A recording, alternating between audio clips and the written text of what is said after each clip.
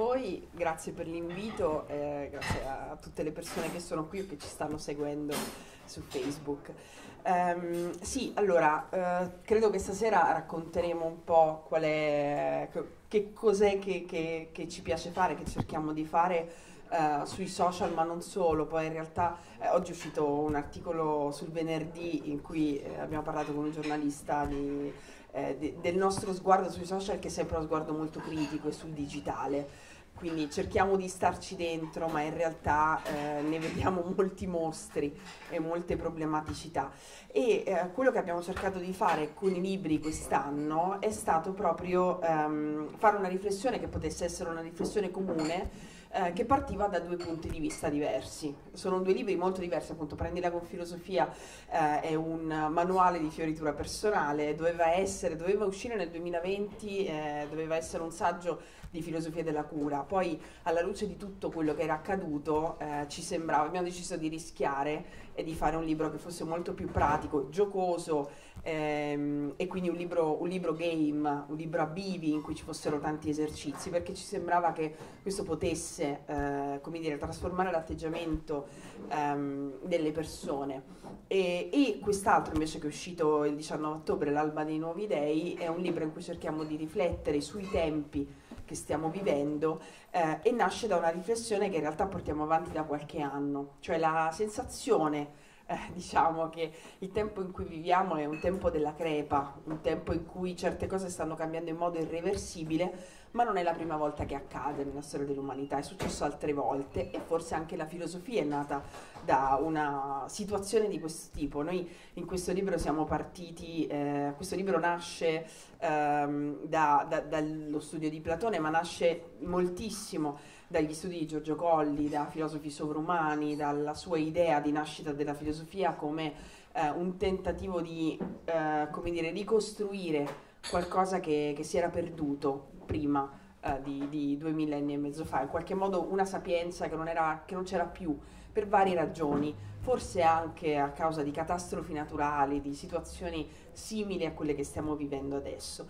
E quindi abbiamo cercato di riflettere sul tempo che viviamo, cercando di offrire uno sguardo che, um, che potesse uh, coinvolgere più persone possibile. E questo in qualche modo è legato al modo in cui a noi piace fare filosofia. In realtà l'idea che c'è in generale, il fatto che noi facciamo dei post su Instagram e su Facebook, ma questo è molto, è una minima percentuale di quello che facciamo. In realtà quello che ci piace di più è portare la filosofia in luoghi diversi, ma ovviamente quello che si vede meno, perché uno dei grandi problemi dei social è che sembra che tutto quello che racconti è quello che sei e quindi c'è un'identificazione tra quello che dici eh, come dire, quello che mostri è quello che sei, ma in realtà la maggior parte di tutte le nostre vite, soprattutto se abbiamo una vita sana, rimane fuori, è esclusa da quello che raccontiamo sui social, eppure sembra non esistere.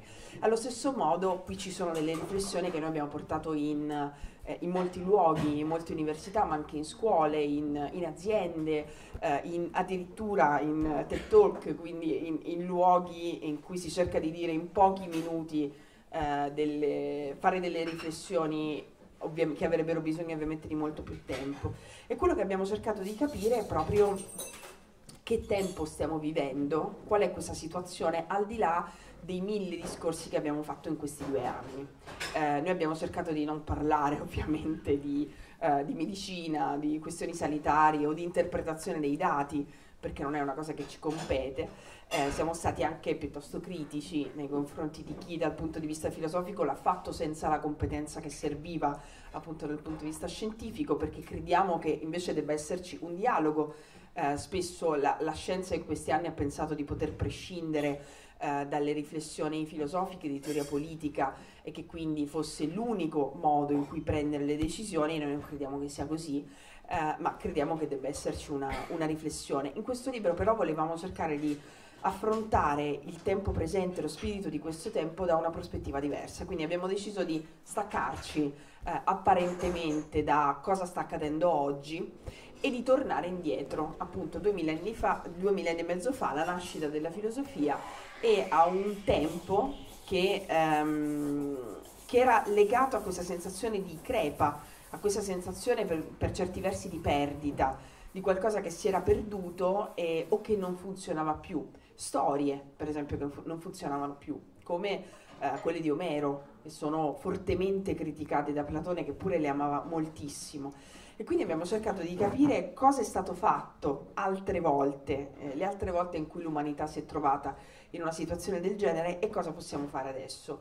E eh, diciamo che in qualche modo i nostri libri che partono da, da, da, da diciamo da, eh, che affrontano temi diversi arrivano però quasi sempre alla stessa conclusione che è esattamente il contrario di cui poi non so cosa sta succedendo, però eh, è la conclusione per cui che, tu, eh, che, che il libro tratti di, di fioritura personale e quindi sia un percorso individuale o che parli di meraviglia eh, o che parli di società della performance o che parli eh, appunto di, eh, di, della crepa, in realtà poi quello che ci interessa è, ehm, è coltivare una dimensione collettiva. Questo è davvero un tempo in cui non c'è nessuno che ci possa davvero salvare, sarebbe anche molto pericoloso se ci fosse oggi un altro Platone a riscrivere eh, i miti, a dirci in che direzione andare, perché sarebbe un'opera di manipolazione e non sarebbe un'opera di trasformazione dell'umanità. Quello che eh, crediamo che oggi possa accadere, che sembra molto difficile eh, rispetto alle sfide globali, per esempio il cambiamento climatico, non solo la pandemia, è, um, è una, uh, dire, una, scelta, una deliberazione collettiva. Quello che è accaduto spesso nella storia dell'umanità è che qualcuno ha deciso. Può accadere di nuovo. Questo, il sottotitolo di questo libro, quindi metto sul piatto alcuni temi e poi man mano li, li affrontiamo.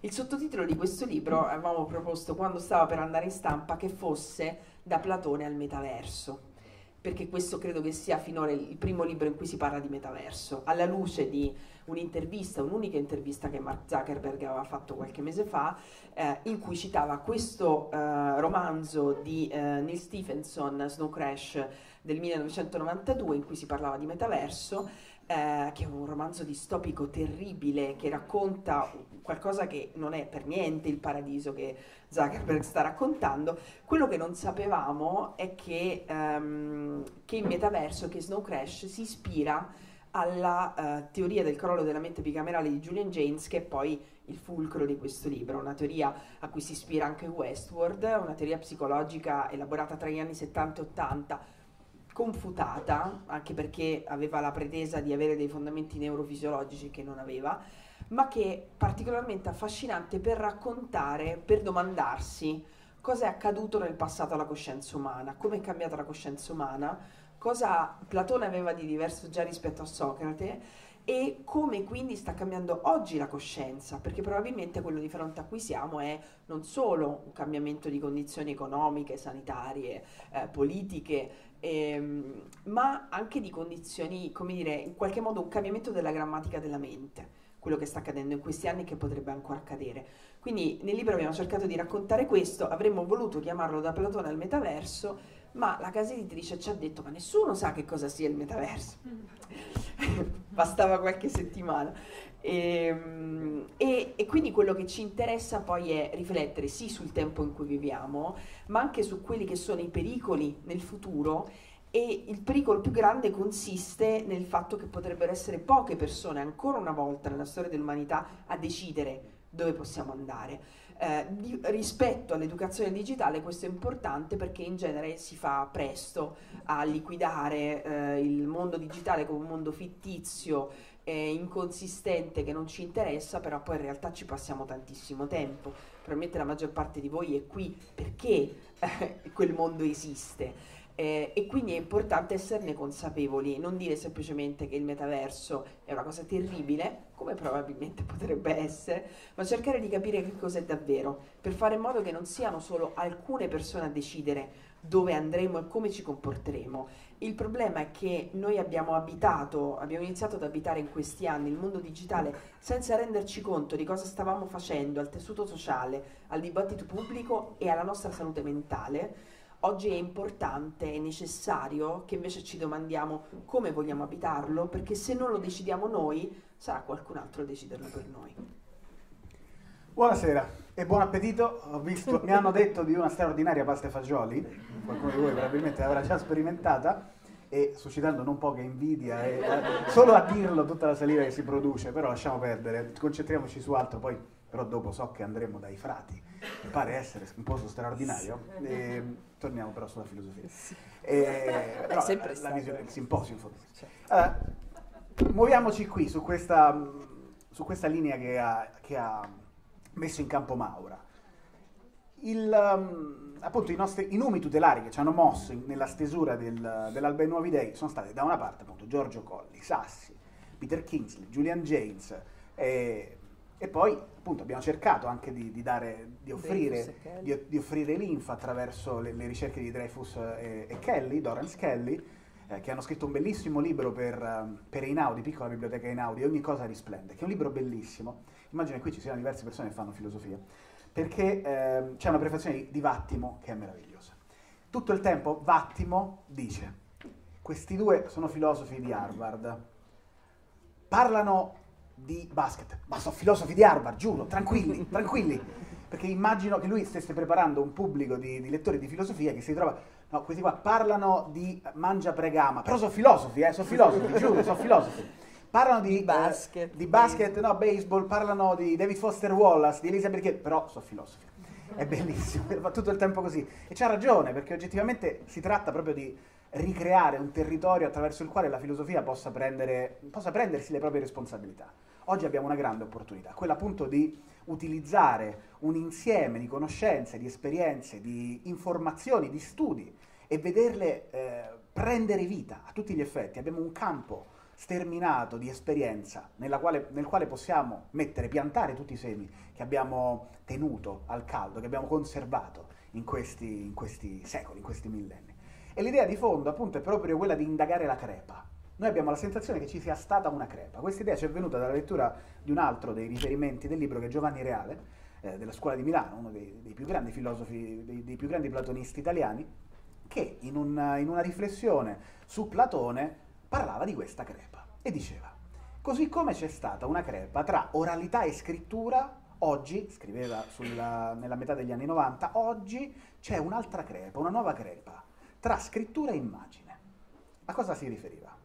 Lui si- ancora non c'era internet, quindi lui pensava che la società si sarebbe spostata da una società, diciamo, primariamente fondata sulla scrittura a una società primariamente fondata sull'immagine. Andiamoci per gradi. La società fondata sull'oralità è quella a cui faceva riferimento prima Maura, era quella socratica per eccellenza, in cui la scrittura ancora non aveva preso piede. Sappiamo che già dal primo millennio eh, avanti Cristo e anche un po' prima la scrittura aveva cominciato a diffondersi, ma è in quegli anni lì, quarto, quinto secolo avanti Cristo, che la scrittura diventa qualcosa di ordinario, qualcosa che non fa più ridere se viene messa in scena. Nei, nei teatri, quando bisognava far ridere qualcuno, si metteva qualcuno che rideva, che, che- leggeva un libro, faceva strano. Come oggi fa strano vedere qualcuno col visore VR, tra un po' non farà più strano. Se voi immaginate uno col visore VR che va cieco, così, che si muove su un palcoscenico, ridete, vi guarda questo, questo tizio, tra un po' non ci farà più effetto. Così come fino a 3, 4, anche 5 anni fa, se noi vedevamo uno che si faceva i selfie sul palcoscenico, ridevamo, guarda che ridicolo, così come abbiamo riso per decenni sui giapponesi che facevano le foto, no? Con- mostrando un provincialismo di, di- di- di scarsissima qualità e soprattutto di poca lungimiranza, perché oggi le foto le facciamo tutti e le facciamo molto più spesso. Allora, questa società fondata sull'oralità era una società che doveva costantemente rimantecare, ripassare, rimettere le mani nel sapere, lo doveva mettere in circolazione. Non, eh, non c'era modo di trasmettere il sapere se non comunicandolo, se non mettendosi in relazione gli uni con gli altri. Poi le critiche che Platone fa alla scrittura sono lucidissime, sono contenute anche nel Fedro, per esempio. Il mito di Tot e Tamus si fonda su questo. Si fonda proprio sul fatto che la scrittura non è in grado di rispondere a tutte le, le- le- le varie contraddizioni che fa emergere. Quindi stava accadendo qualcosa, Platone si rende conto che stava accadendo qualcosa, che un certo modo di pensare e quindi abitare il mondo, un certo ethos in questo senso, da sedes, stava modificando la psiche degli esseri umani. Allora che cosa si poteva fare? Davanti a un mondo che non riusciva più, che stava mutando la propria essenza, davanti a un mondo in cui gli dei erano venuti meno, la teoria bellissima di Julian James è che questi dei fossero le colonne portanti della psiche, che permettessero di ricevere delle risposte nei momenti difficili. E quindi invece che fare riferimento alla propria coscienza, prima del crollo della mente bicamerale, secondo James, Beh, arrivava la voce del Dio, arrivava l'allucinazione sonora o visiva che metteva in connessione con il divino. Una voce che gli diceva cosa fare. Beh, quando questo edificio psichico crolla, e perché crolla? Per l'intensificarsi dei commerci, delle relazioni, degli scambi. Cioè, cos'è che succede concretamente? Che queste realtà che bastavano a se stesse, questi mondi piccoli, cominciano a incontrare altri mondi. E guardate anche quanto è attuale tutto questo. Questi mondi che sembravano avere il possesso della verità, si accorgono che in realtà non ce l'hanno fatto. E che questi dei che fornivano le risposte sulla base dell'educazione sentimentale, cioè sulla base dell'esperienza, quindi non era altro che una sorta di inconscio collettivo che si manifestava e che dava le risposte giuste, quando si modificavano le relazioni, cambiava lo scenario e cambiando lo scenario gli dei non riuscivano più a rispondere. Crollava quindi il mondo. Bisognava creare nuovi miti, bisognava creare un nuovo modo di stare al mondo.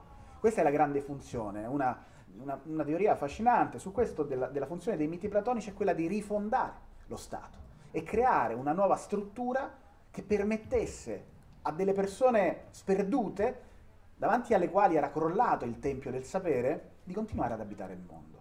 E quindi la scrittura stava manifestando un altro modo di stare al mondo. Cosa fa Platone? Platone sceglie, dice a se stesso e poi agli altri, non posso che diventare il più grande romanziere della storia, non posso che diventare il più grande scrittore di opere teatrali.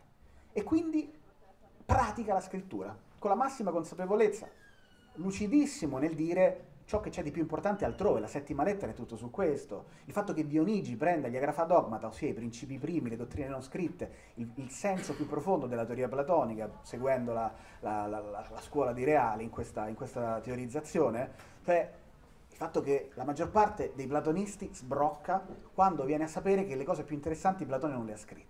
Voi mettetevi nei panni di queste persone che hanno passato 20-30 anni a studiare Platone e che costantemente si devono trovare di fronte a questi passaggi in cui lui dice ma io le cose più importanti non è che le posso scrivere.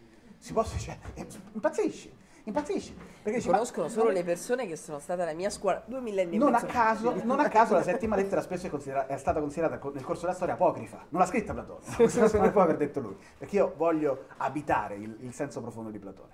Però quella condizione si manifestava attraverso la scrittura. La scrittura era un viatico che permetteva, appunto, per chi poteva, il raggiungimento di quegli stati non ordinari di coscienza, il raggiungimento di quelle comprensioni. Erano delle allusioni, scriverà Reale.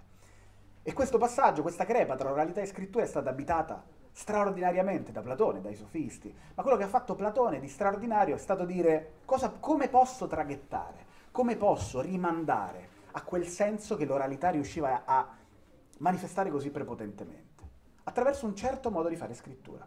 Oggi ci troviamo in una crepa simile, ma quello che diceva Reale era vero fino a un certo punto, ha profetizzato bene, ma ancora non c'era internet. Lui parla dei rotocalchi, dei giornali, della televisione, del cinema, ma la vera trasformazione oggi è quella che c'è tra scrittura e digitale. Noi stiamo traslocando da un mondo fondato sulla scrittura a un mondo fondato sul digitale. Il metaverso è proprio questa roba qui. Quando Zuckerberg fa le sue sparate, le fa per due ragioni principali. La prima è coprire lo scandalo, lo scandalo della, di Hogan, della whistleblower, che in sostanza sta dicendo questi qui sanno benissimo che hanno devastato la psiche degli esseri umani. Questi qui sanno benissimo di aver costruito dei social network che hanno come scopo principale monetizzare e eh, manipolare. Lo sanno benissimo che hanno inquinato il dibattito pubblico e che le persone sono diventate più stupide anche a causa loro. Però devono farci soldi e quindi nascondono gli studi che mettono in luce l'evidenza. Questa è la prima ragione. La seconda ragione è arentiana per certi versi. Nel prologo di Vita Attiva, 1958, lei fa riferimento, poi in Italia è stato pubblicato nel 63-64, in Francia nel 61, ma l'abbiamo visto soltanto negli anni 80, Vita Attiva, The Human Condition, uno dei libri più importanti del Novecento. Fatto sta che inizia questo libro con un riferimento allo Sputnik lanciato nello spazio. È bellissimo, no? Per chi l'ha letto ogni volta è emozionantissimo.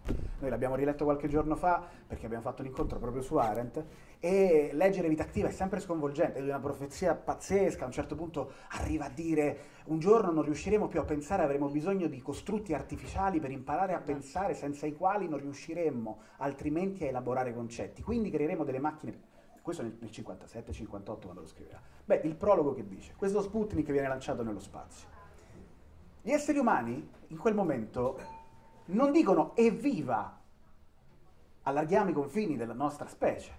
dicono evviva, finalmente ci liberiamo dalla gabbia terrestre, sollievo. Questa roba è tragica. Il metaverso nasce da questa istanza.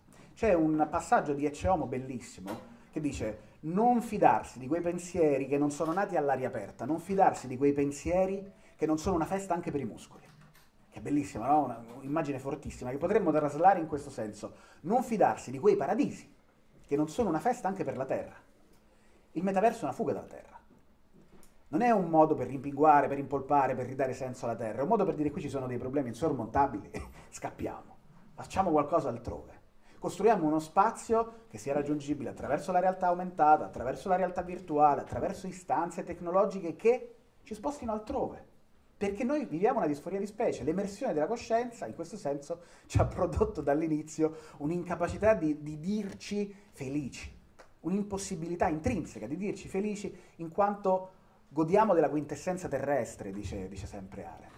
E allora qui il passaggio si fa tragico, cioè che cosa possiamo fare? cosa può la filosofia oggi? Cioè, in che senso noi, come diceva prima Maura, dobbiamo limitarci a subire la creazione di un metaverso? Che cos'è il metaverso, per chi non lo sa?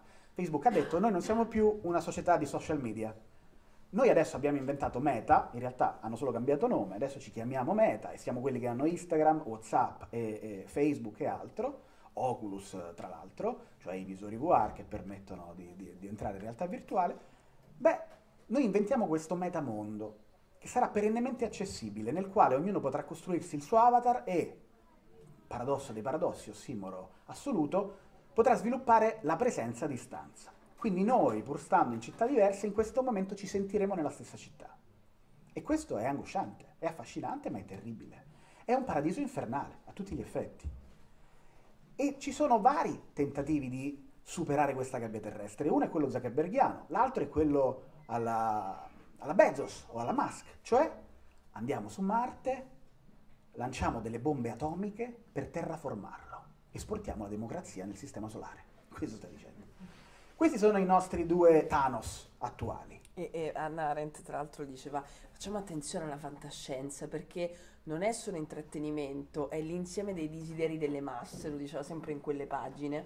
E in effetti se pensiamo al bombardare Marte ci vengono in mente le narrazioni fantastiche. Ci viene in mente la fondazione, ci viene in mente Asimov, ci vengono in mente appunto Snow Crash e tanti altri. A me viene in mente Borges per altri versi. Eh, più che con le bombe, ma proprio con l'idea di Tronuk Barra Bisterzius, tutta, tutta finzione in fondo si basa su questo.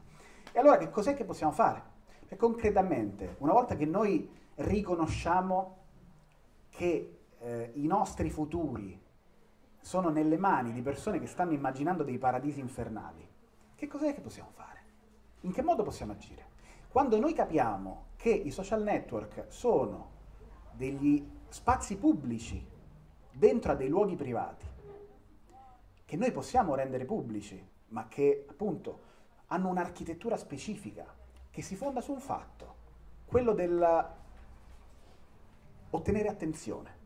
Che significa? Significa che per tenerti ancorato io devo, devo darti qualcosa che catturi la tua attenzione. Quindi che ti dia ragione. Quindi che succede? Succede che affinché tu venga costantemente manipolato, affinché tu possa venire indicizzato, targetizzato e di conseguenza tu possa ricevere delle pubblicità specifiche che indirizzino non solo i tuoi acquisti, ma anche tue opinioni di voto, per esempio, è necessario che io ti fornisca costantemente delle informazioni che ti danno ragione. E questa è la morte del pensiero. Informazioni che ti danno ragione che significa? Significa tu non vedi più nulla che non conferma la tua visione del mondo. Ma il pensiero nasce nel momento in cui, come diceva prima Marco qui che urlava qui fuori, quando c'è polemos.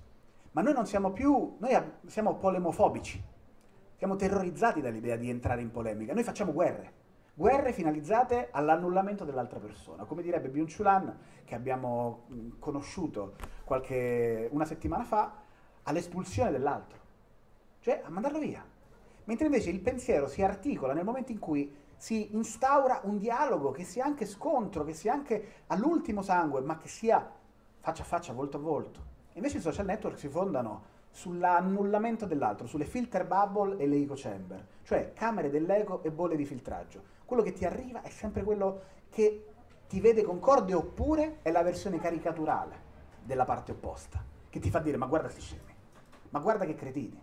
E lo facciamo tutti. E viviamo questa istanza in maniera terribile, dimenticandoci qual è stato il grande insegnamento anche del, della Tenebriclea, della filosofia antica, e cioè occhio che il voto è la fine di un percorso.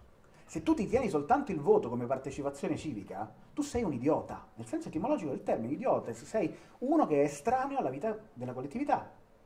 E noi abbiamo smesso di costruire una, uno spazio di dialogo, abbiamo smesso di agire e ci siamo limitati a lavorare. Un altro passaggio fu- fulminante di vita attiva è quando parla del lavoro e dice, sempre 60 anni fa, 63 anni fa, e dice, occhio perché in futuro riusciremo a liberarci dalle pastoie del lavoro. Sapete che Vita Attiva in fondo eh, nasce come uno studio su Marx, poi diventa tutt'altro, che avrebbe voluto dedicare ad Heidegger, ma poi per altre ragioni non lo farà. Beh, un giorno ci libereremo dalle pastoie del lavoro.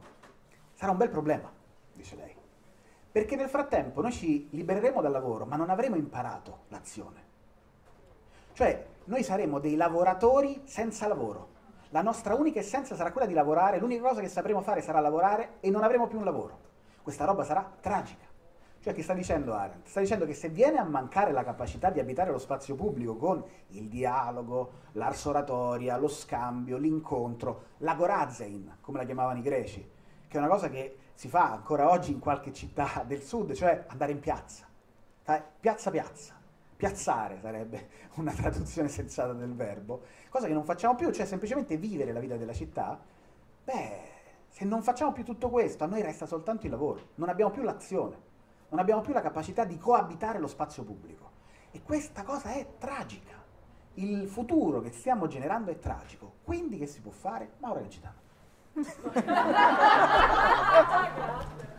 Ah, mi, mi, passi la palla così. Allora, abbiamo, eh, abbiamo, visto quali sono le grandi responsabilità eh, delle piattaforme private, che sono metanazioni, che sono delle nazioni davvero pericolosissime, non è retorica. Eh, quando, per, tra l'altro stiamo trasmettendo su una di queste piattaforme, quando ho sentito parlare per esempio di Libra per la prima volta, non abbiamo più sentito parlare se ci fate caso, sono un paio d'anni, era il eh, credo maggio 2019 in cui si parlava di questa moneta, del fatto che Facebook potesse produrre, creare moneta e questo ovviamente mette in crisi tutte le idee su cui si basa la sovranità monetaria e, ed era qualcosa su cui secondo me non c'era sufficiente dibattito, anzi pressoché non ce n'era, perché se critichi un'azione del genere sei uh, un uh, digital scettico. Uh, e quindi sembra che, che, tu debba dire che va tutto bene, che non c'è niente di pericoloso in quello che accade nel momento in cui delle realtà private hanno più potere di uno Stato nazionale. E invece questo problema c'è. Abbiamo visto appunto, vi abbiamo accennato al fatto che ci sono delle enormi responsabilità e un potere devastante che hanno alcune persone in questo momento, ehm, c'è un'enorme responsabilità della politica, eh, di tutte le istituzioni a tutti i livelli che non hanno considerato il mondo digitale come un mondo da descrivere eh, da parte del diritto positivo, come un mondo in qualche modo da, da, contenere per tutelarci, per tutelare noi, i nostri dati, i dati come bene comune, ma anche la nostra salute mentale, il nostro comportamento, la nostra reputazione. Quindi non abbiamo delle leggi in Italia e non solo in Italia eh, che tutelino questo. Ci sono alcune leggi sull'odio in Francia e in Germania, però in realtà è proprio la mancanza di consapevolezza spesso eh, dal punto di vista della, delle amministrazioni e della politica rispetto a cosa accade, che cos'è il mondo digitale, che in effetti è difficile da descrivere perché non è una città, perché non è una, um, qualcosa che sia facile mappare. Ogni tipo di mappatura e di cartografia del mondo digitale è sempre parziale perché è pieno di luoghi nascosti, di luoghi privati che possiamo creare, luoghi insidiosi o che si duplicano, si moltiplicano. Quindi come facciamo a fare una mappa? Come facciamo a descriverlo senza ledere la libertà delle persone? È una questione molto complicata ed essendo così complicata forse avremmo dovuto parlarne. C'è una grande responsabilità del giornalismo che molto spesso, ehm, come dire, approfitta di certe dinamiche eh, nel, nel, dare le notizie, nel cavalcare eh, le, lo, quello che accade negli sciami che si muovono sulla rete. Quindi in qualche modo cerca di creare flame, fuochi, eh, che accolgano, che raccolgano intorno le persone e questa è un'enorme responsabilità perché il giornalismo invece dovrebbe avere uh, la funzione di darci le notizie, raccontarci le prospettive uh, in conflitto e, e, i dati in conflitto e invece quello che spesso accade sui social è che si cerca costantemente la polemica o la polarizzazione o l'appiattimento o la semplificazione delle notizie. Um, c'è però anche una nostra responsabilità, perché è vero che questi spazi digitali vengono disegnati da qualcuno, ma vengono abitati da noi e abitandoli li disegniamo anche noi.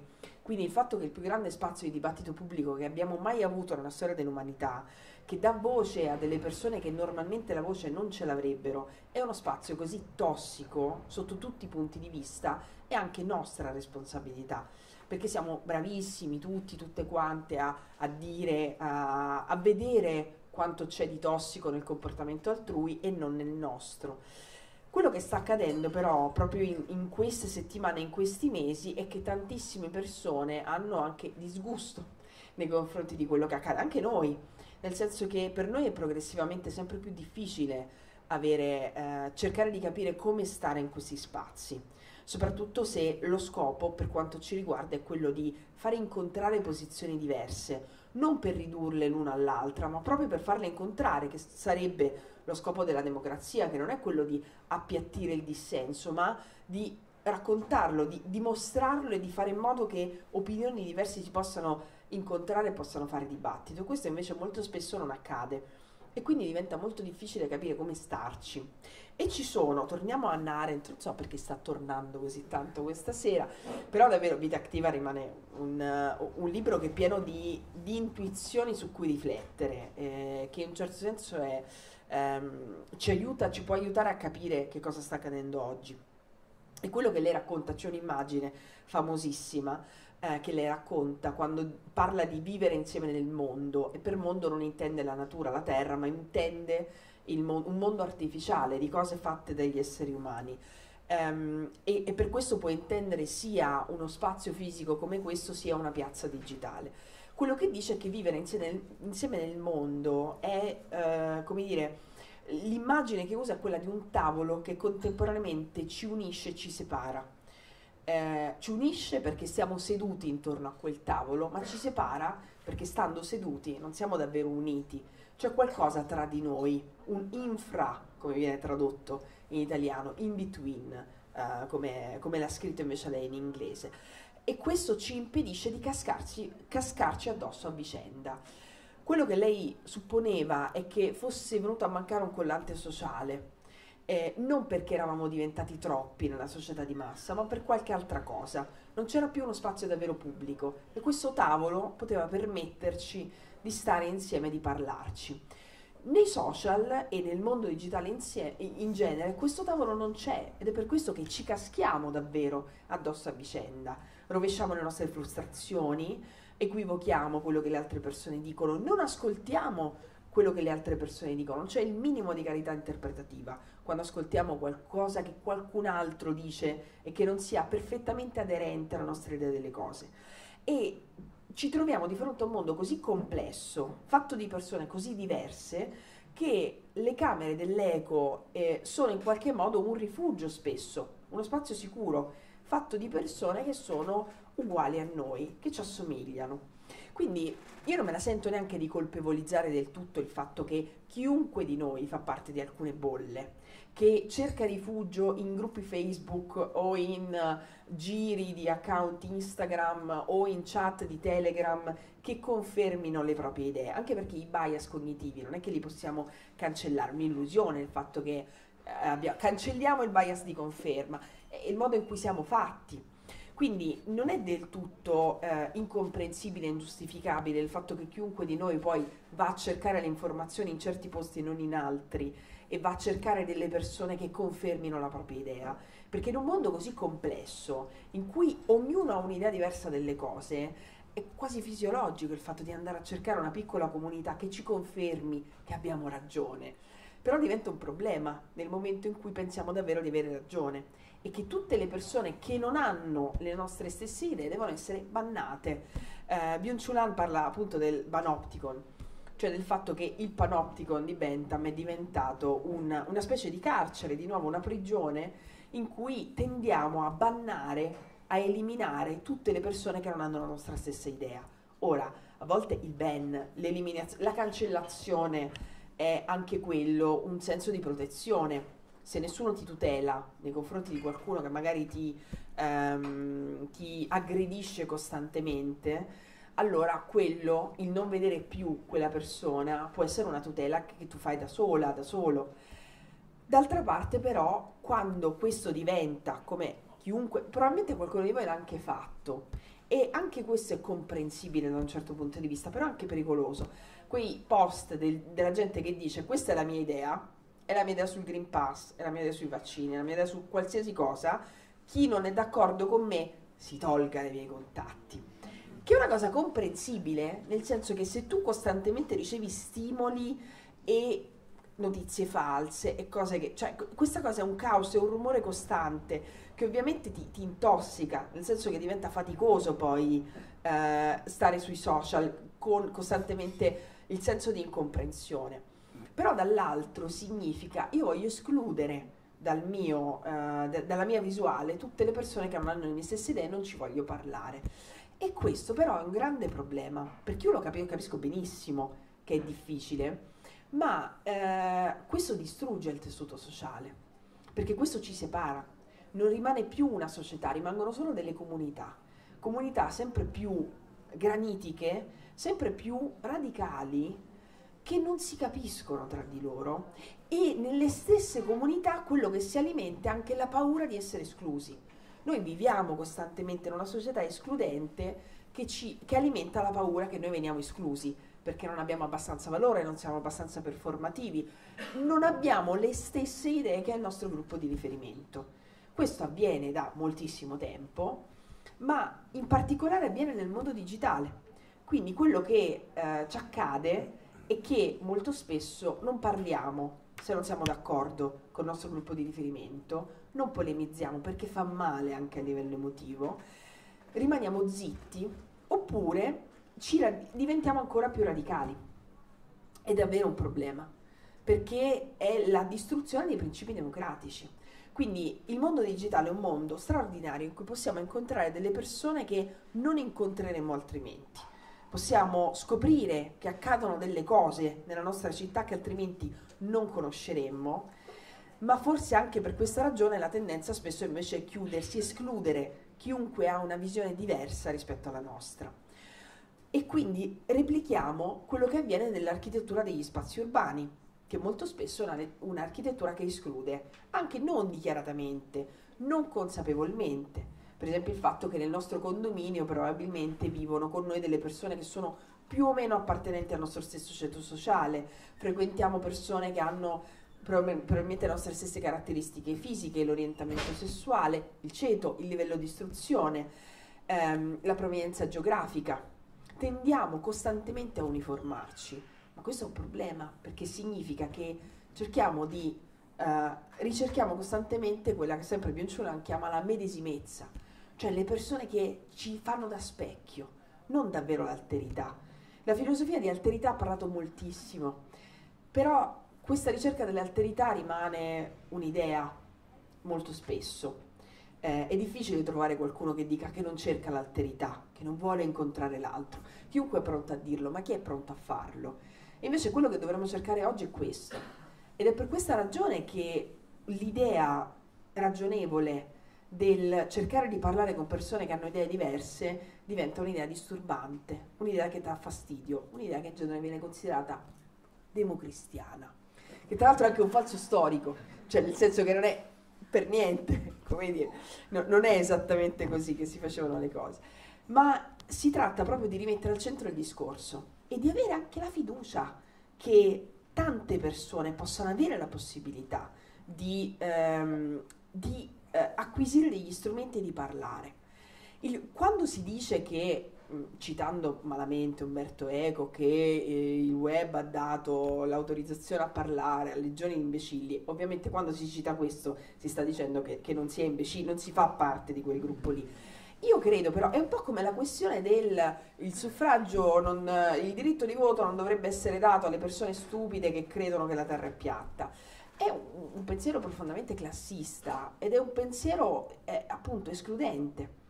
In realtà quello che dovremmo cercare di fare, anche se la realtà ci conferma costantemente che siamo forse degli illusi e degli idealisti, ma dovremmo cercare di credere che eh, ci siano molte persone che vogliono partecipare al discorso pubblico, che magari non hanno gli strumenti perché non gli sono stati trasmessi, ma che vogliono cercare di capire. Anche persone che hanno delle idee che per noi sono incomprensibili, che usano delle parole che per noi sono incomprensibili. Dovremmo cercare di fare questo. C'è stata una filosofo ungherese che ha cercato per tutta la vita di parlarne, che è stata Agnes Heller. Nel libro non ne parliamo, ma è stata in questo anche considerata troppo ottimista, perché pensava che le persone poi avrebbero avuto interesse a occuparsi della cosa pubblica. Ecco, eh, noi crediamo che nonostante tutto, in un'epoca in cui l'individualismo, la reputazione personale, i profili individuali, alla fine nel mondo digitale andiamo sempre con un profilo individuale e quindi parliamo sempre come se parlassimo sempre da uno speaker's corner, sempre eh, elevandoci, a, come dire, parlando dal nostro pulpito. Nonostante questo, forse proprio per questa ragione, forse perché abbiamo portato all'estremo la dimensione individuale, c'è un enorme invece bisogno di, um, di socialità e di spazio pubblico.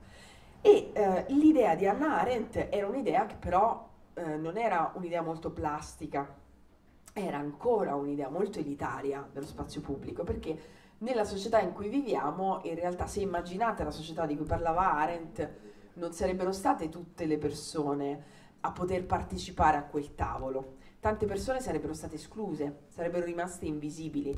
E c'è stata un'altra filosofa vivente eh, che ha problematizzato quello che Arendt dice in vita attiva in un libro bellissimo che è L'alleanza dei corpi, che è Judith Butler, che dice che in realtà quello spazio pubblico non può essere un tavolo, non può essere una dimensione così chiara, netta, perché in realtà la, socie- la società è molto più ramificata di così, è molto più complessa, perché ci sono state troppe persone che nella storia dell'umanità, ma anche solo ancora negli ultimi 150 anni, sono state costantemente escluse dal discorso. E quello che dovremmo cercare di fare, di alimentare, è l'interdipendenza, che detta così sembra una cosa negativa, perché ci fa pensare alla dipendenza, alla codipendenza, a una dimensione di dipendenza dalle altre persone e nessuno di noi vuole essere dipendente dalle altre persone. Noi viviamo questo paradosso costante del desiderio di stare insieme agli altri e repulsione nello stare insieme agli altri, anche quello che proviamo, che forse provate anche adesso, che vi trovate così vicini dopo tanto tempo in cui si è stati disabituati, quello che si prova sul treno senza distanziamento, ma io stavo tanto bene quando ho avuto due posti a disposizione, perché devo stare vicino a un estraneo?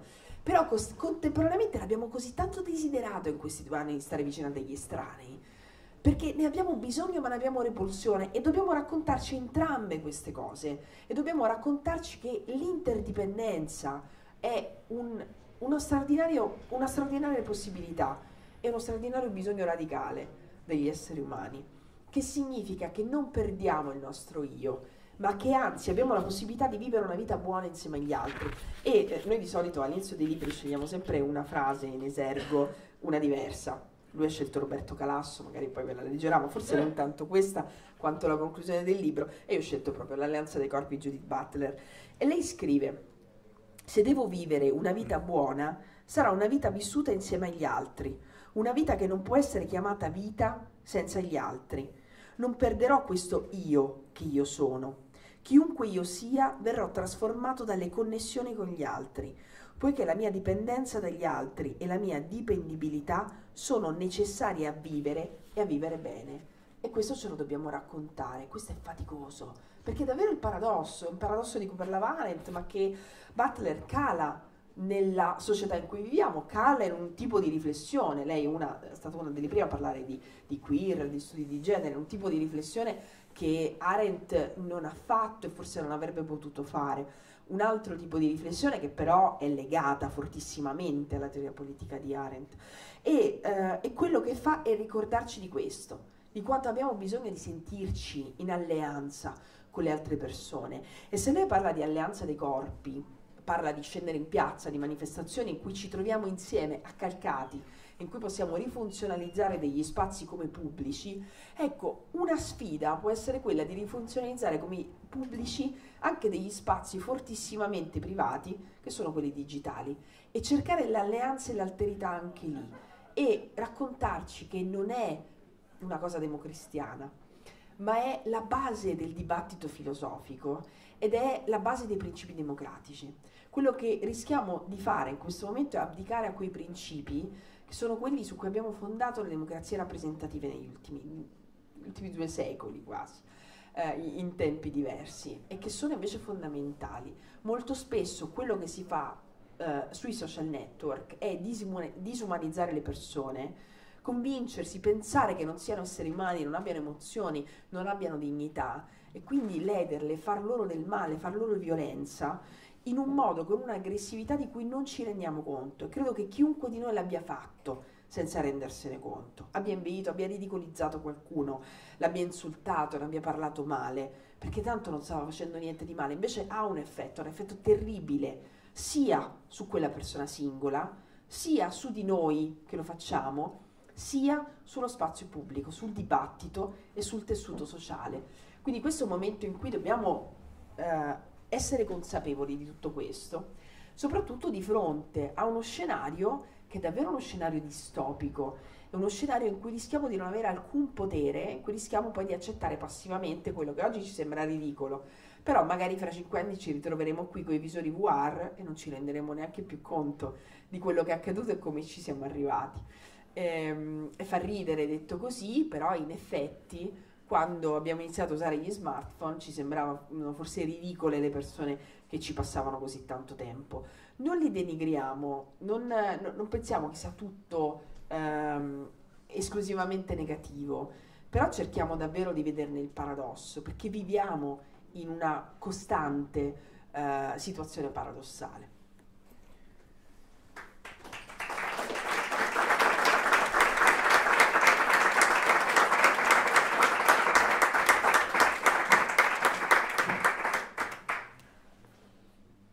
E questa relazione è un farmacon. Farmacon è una parola potente, interessante, che ha a che fare sia con la cura che con il, veleno. Ma non è semplicemente qualcosa che in alcuni momenti cura e in altri momenti avvelena.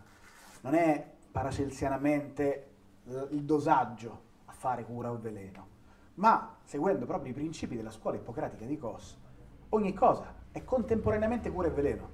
Quando Platone parlava della scrittura parlava della scrittura come farmacon.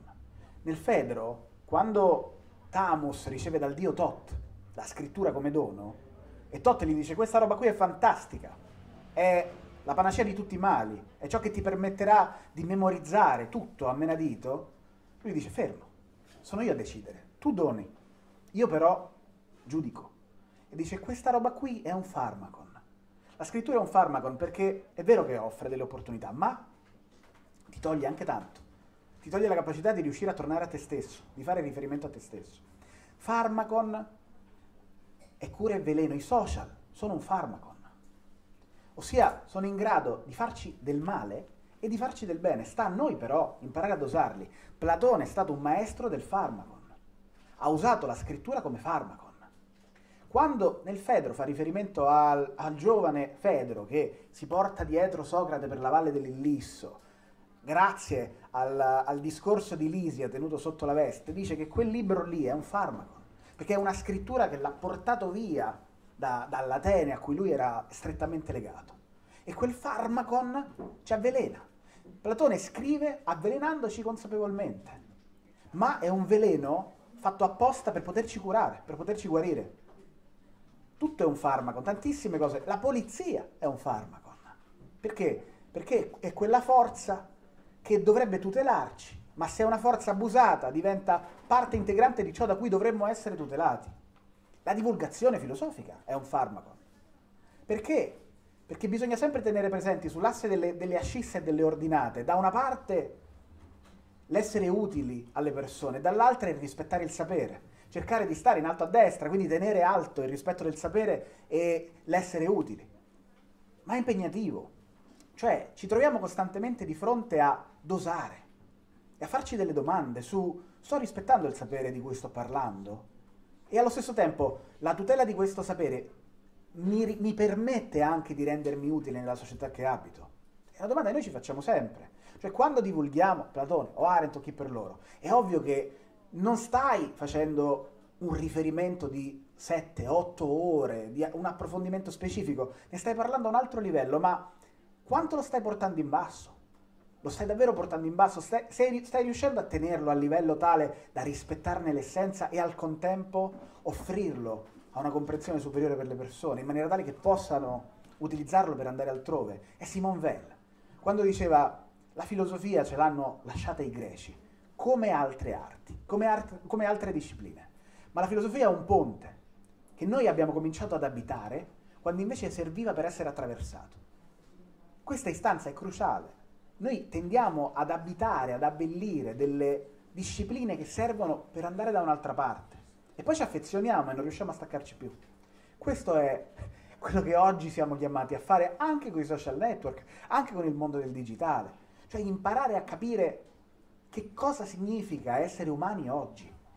Qual è la condizione umana? Arendt parlava di condizione umana perché cioè non c'è una natura umana. Ci sono delle condizioni che noi abitiamo, sono delle istanze che ci muovono. E allora la sfida oggi, spunto, siamo qui insieme.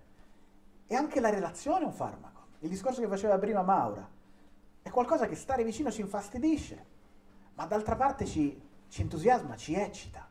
Edgar Morin lo diceva chiaramente, bisogna imparare a navigare l'oceano, lo dice ancora, è vivo, ha cent'anni, ma come dire, ancora gliene auguriamo altri cento, imparare a navigare l'oceano di incertezze attraverso arcipelaghi di certezze. Questa immagine è cruciale. Cioè, le, quello che lui dice, le scienze novecentesche ci hanno mostrato enormi campi di incertezza. Enormi. Ci hanno mostrato che è molto più ciò che non conosciamo di ciò che conosciamo. E allora che si fa? Si affonda? Si cerca una zattera? No, si cerca di costruire degli arcipelaghi di certezze, cioè delle discipline, dei campi del sapere che come istanza avanzino anche la comprensione di abitare un oceano di incertezze. Cioè, tu devi imparare, oggi uno dei lavori principali, degli scopi principali, è quello di non dimenticare l'oceano di incertezze. La pandemia ci ha mostrato l'oceano di incertezze su cui noi avevamo messo uno strato di carta velina, che ci diceva è tutto a posto, è tutto sicuro, viviamo nella società dell'opulenza, è tutto fantastico. Un soffio è volato tutto. Ne parlavamo con Bena Sayag. Quello che succede oggettivamente è che noi credevamo di essere tutti nella stessa barca, ma non è vero. Siamo però nella stessa tempesta.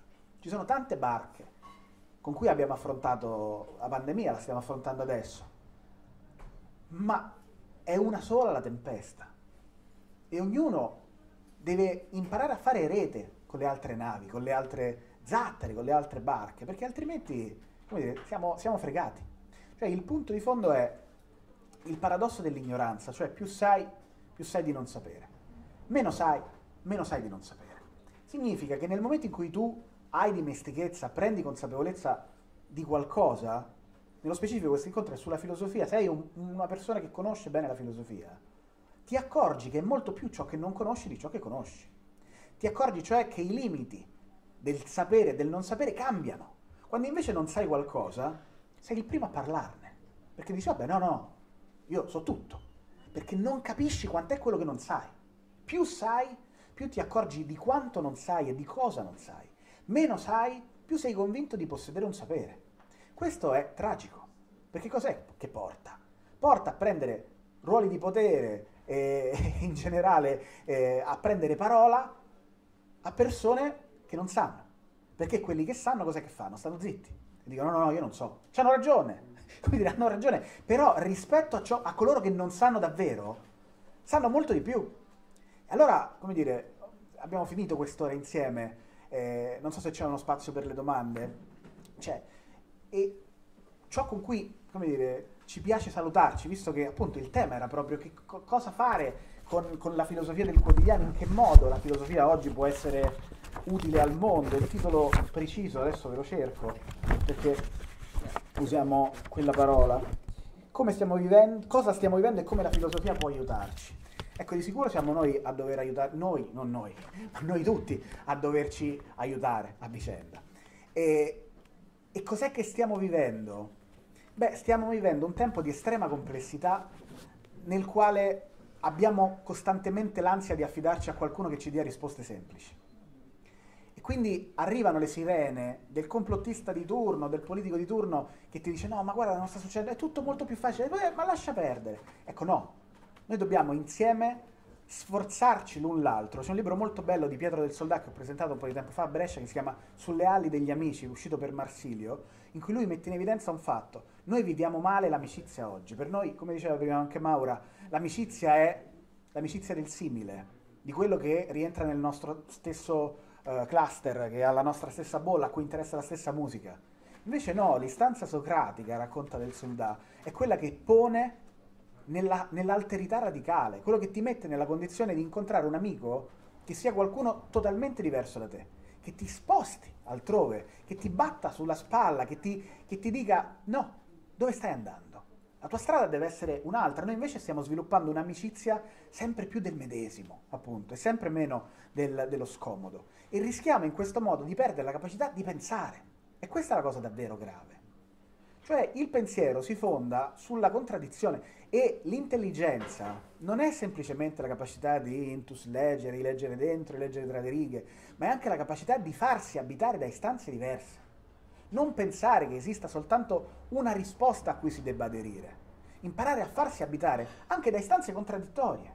Perché devo pensare una cosa sola? Cioè, non significa non prendere posizione, significa però essere radicalmente non indifferenti. Perché questa crepa, scriveva Gramsci, che è un altro degli ispiratori dell'ultimo libro, questa crepa si manifesta nel momento in cui il passato non c'è più, non si manifesta più, non ha più presa, però il futuro ancora non si fa vedere. E nel frattempo nascono i mostri. Quello che Gramsci non sapeva, o, o più probabilmente non voleva dire, è che quei mostri siamo noi.